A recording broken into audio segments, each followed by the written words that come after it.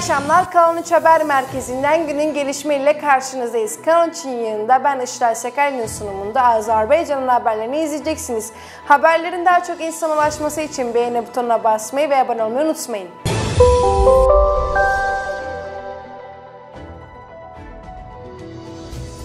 İçişleri Bakanlığı bu sabah Bakü'nün giriş ve çıkışlarındaki trafik sıkışıklarına ilişkin bir açıklama yaptı.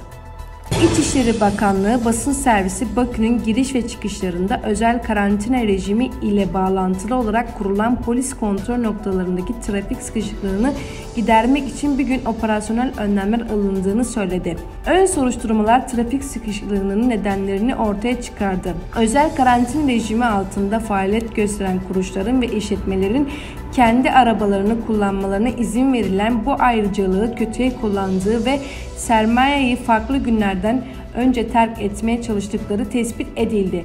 Bunları tespit etmek ve bunlara karşı uygun önlemleri almak için araştırmalar devam etmektedir ifadelerini belirtti. Dünya Sağlık Örgütü'nün Azerbaycan'daki temsilcisi Hande Armancı basına sosyal ağda yayılan fotoğraflarla ilgili bir açıklama yaptı. Hande Harmancı 13 Haziran'da doktorlarla birlikte Guba ve Gusar bölgelerini ziyaret ettik. O zaman sosyal medyada paylaştığım fotoğraflar ve videolar çekildi. Bunu yanlış zamanda yaptığımı kabul ediyorum ve bunun için özür dilerim ifadelerini belirtti. Dünya Sağlık Örgütü'nün Azerbaycan'daki temsilcisi Hande Harmancı basına sosyal ağda yığılan fotoğraflarla ilgili bir açıklama yaptı. Dünya Sağlık Örgütü ofisinden rapora kadar olan metin şunları belirtmektedir. Sevgili arkadaşlar, sosyal medyada paylaştığım ve olumsuz bir tepki neden olduğum fotoğraflar konusunu açıklığa kavuşturmak istiyorum. Bildiğiniz gibi REACH C19 projesini COVID-19 salgını ile bağlantılı olarak uyguluyoruz.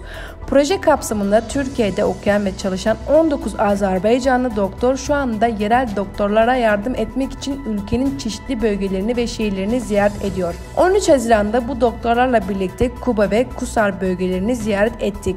O zaman sosyal medyada paylaştığım fotoğraflar ve videolar çekildi. Bunu yanlış zamanda yaptığımı kabul ediyorum ve bunun için özür diliyorum ifadeleri yer aldı.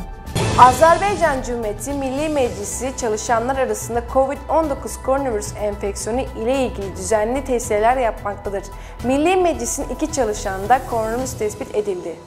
Parlamentonun basın servisinden yapılan açıklamada COVID-19 testinin sonuçları Milli Meclis İşleri Ofisi'nin iki çalışanında olumlu olduğunu, hemen tıbbi gözetim altında tutulduklarını, iki çalışanın temasta olduğu meslektaşlar karantina rejiminin gerekliliklerine göre belirlendi ve izole edildiğini belirtti.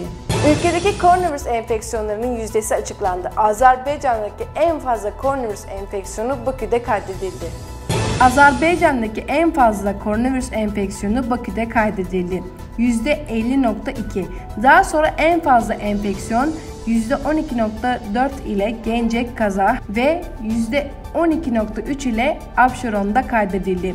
Genel olarak enfeksiyon oranı Aran'da %8.8, Denkaran'da %7.2, Dağlık Şirvan'da %1.8, Şekey Zagata'da %1.7, Guba Haçmaz'da %1.5 ve Yukarı Karabağ'da %1.2 idi. Enfeksiyonların %2.9'u yabancılarda kaydedildi.